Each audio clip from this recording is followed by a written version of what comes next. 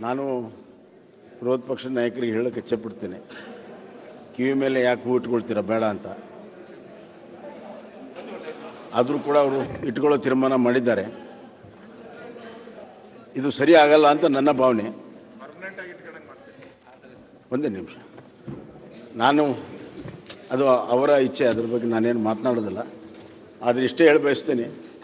ಇಷ್ಟು ದಿವಸ ಅವರು ಜನರಿಗೆ ಕಿವಿ ಮೇಲೆ ಹೂ ಇಡ್ತಿದ್ರು ಈಗ ಜನ ಅವರು ಕಿವಿ ಮೇಲೆ ಹೂ ಇಟ್ಟಿದ್ದಾರೆ ಮುಂದಿನ ಸಲನೂ ಅವ್ರ ಕಿವಿ ಮೇಲೆ ಹೂ ಇಟ್ಕೊಳ್ಳೋ ಪರಿಸ್ಥಿತಿ ಬರ್ತದೆ ಮಾನ್ಯ ಅಧ್ಯಕ್ಷರೇ ನಾವು ಕಿವಿ ಮೇಲೆ ಹೂ ಇಟ್ಕೊಂಡಿರ್ತಕ್ಕಂಥದ್ದು ಆಮೇಲೆ ಆಮೇಲೆ ಕೊನೆಗೆ ಕೊನೆಗೆ ಆಮೇಲೆ. ಬಜೆಟ್ ಮೂಲಕ ಆಮೇಲೆ, ಈ ರಾಜ್ಯದ ಏಳ್ನೂರು ಕೋಟಿ ಆ ತೀರ್ಮಾನ ಮಾಡ್ತಾರೆ. ಏಳ್ನೂರು ಏಳು ಕೋಟಿ ಜನರ ಕಿವಿ ಮೇಲೆ ಹೂ ಇಡ್ತಕ್ಕಂಥ ಬಜೆಟ್ ಅದ್ ಮಾತಾಡಿ ಆಮೇಲೆ ಮಾತಾಡ. ಆಮೇಲೆ ಮಾತಾಡೋಣ ಆರ್ನೂರು ಭರವಸೆ ಬಜೆಟ್ ಬಜೆಟ್ ಮಂಡಿಸ್ತೀವಿ ಅವ್ರ್ ಬಜೆಟ್ ಓದ್ತಾ ಇರೋರು. ಅವರೇ ಬಜೆಟ್ ಓದ್ತಾ ಇರೋರು. ಬಜೆಟ್ ಬಜೆಟ್ ಓದ್ತಾ ಇದ್ದಾರೆ ಅವರು.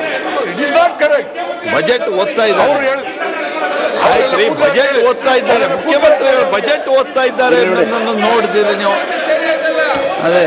ಕೂತ್ಕೊಳ್ಳೋಕೆ ಕೇಳಿ ಓಕೆ. ಆದ್ರೆ ಆದ್ರೆ ಇವರು ಶ್ರೀರಾಮುಲು. ಈಗ ಏ ನಿಮ್ಗೆ ಮಾನ ಮರ್ಯಾದೆ ಇಲ್ಲ. ಕೂತ್ಕೊಳ್ರಿ. ಇಲ್ಲ ಈಗ ಸಿದ್ದರಾಮಯ್ಯ ಅವರ ಸಂಪ್ರದಾಯ ಅಲ್ಲ.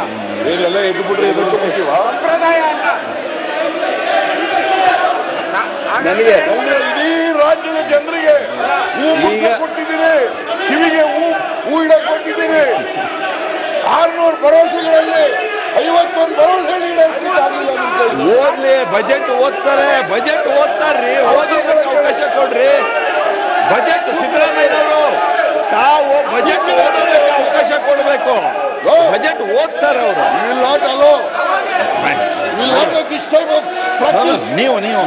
ಆಯ್ತು ಕೂತ್ಕೊಳ್ಳಿ. ಆಯ್ತು ಅವರು ಬಜೆಟ್ ಓದ್ತಾ ಇದ್ದಾರೆ. ನೀವು ಕುತ್ಕೊಳ್ರಿ ಬಜೆಟ್ ಓದ್ತಾರೆ ಮುಖ್ಯಮಂತ್ರಿಗಳು. ನೀವು ಸಚಿವರೆಲ್ಲ ಕುತ್ಕೊಳ್ರಿ.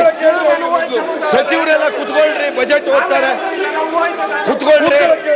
ಏ ಅಶ್ವಥ್ ನಾರಾಯಣ್ ಜ್ಞಾನೇಂದ್ರ ಚಂದ್ರಣ್ಣ. ಇಲ್ಲ ಪರವಾಗಿಲ್ಲ. ಏ ಕುತ್ಕೊಳ್ರಿ ಕುತ್ಕೊಳ್ರಿ ಶ್ರೀರಾಮ್ಲು. ಕುತ್ಕೊಳ್ರಿ. ಕುತ್ಕೊಳ್ರಿ ಕುತ್ಕೊಳ್ರಿ. ಕೆಲಸವನ್ನ ಮಾಡ್ತಾ ಇದ್ದಾರೆ. ಒಂದ್ ನಿಮಿಷ. ಆಯ್ತು ಅವರು ಅವರು ಕೀ ಮೇಲೆ ಹೂ ಇಟ್ಕೊಳ್ಳೋದಕ್ಕೆ ನಮ್ದೇನು ಅಬ್ಜೆಕ್ಷನ್ ಇಲ್ಲ ಸುಳ್ಳಿನ ಫ್ಯಾಕ್ಟ್ರಿ ಅಲ್ಲ. ಬರೀ ಸುಳ್ಳುಗಳನ್ನು ಅದೆಲ್ಲ ಸಾರ್ವಜನಿಕ ಸಭೆಯಲ್ಲೆಲ್ಲ ಹೇಳಿ ಮುಖ್ಯಮಂತ್ರಿಗಳು ನಮಗೆ ಅವರು ಕೀ ಮೇಲೆ ಊಟಕ್ಕೆ ನಮ್ದೇನು ಅಬ್ಜೆಕ್ಷನ್ ಇಲ್ಲ ಈಗ. ಒಂದೇ ನಿಮಿಷ ನಾನು ಒಂದ್ ಮಾತು ಹೇಳ್ತೇನೆ. ಸಿದ್ದರಾಮಯ್ಯನವರೇ ಇಲ್ಲಿ ಕೇಳಿ ನಾನು ಒಂದ್ ಮಾತು ಹೇಳ್ತೇನೆ. ಈಗ ನೀವು ಈಗ. ಒಂದ್ ನಿಮಿಷ ಒಂದ್ ನಿಮಿಷ. ಒಂದ್ ನಿಮಿಷ ಬಜೆಟ್ ಓದ್ತಾರೆ ಮುಖ್ಯಮಂತ್ರಿಗಳು. ನೀವು ಆದ್ರೆ ಇವತ್ತು ನೀವೆಲ್ಲ ಸಂತೋಷ ಪಡಬೇಕು ನಾವೆಲ್ಲ ಸಂತೋಷ ಪಡಬೇಕು. ಕೇಸರಿ ಕಲರ್ ನಿಮ್ದು ಅಂತ ನೀವೇನ್ ಹೇಳ್ತಿದ್ರಲ್ಲ ಅವರು ಕೇಸರಿ ಹೂವನ್ನೇ ಇಟ್ಕೊಂಡಿದ್ದಾರೆ ನೋಡಿ. ಹಾಗಾಗಿ ನೀವು ಸಂತೋಷ ಪಡ್ಬೇಕು. ಇರ್ಲಿ ಅವರು ಮುಖ್ಯಮಂತ್ರಿಗಳಿಗೆ ಬಜೆಟ್ ಅನ್ನು ಮಂಡಿಸ್ತಾರೆ. ಬಜೆಟ್ ಮಂಡಿಸ್ತಾರೆ ಅವರು. ಅಲ್ಲ ಈಗ ನೀವು ಇಟ್ಕೊಂಡ್ರೆ ಆಯ್ತು ಈಗ ಓದ್ತಾರೆ ಮೀಡಿಯಾ ಬಜೆಟ್ ಓದ್ತಾರೆ. ಯಾವ ಬಜೆಟ್ ಓದಿ?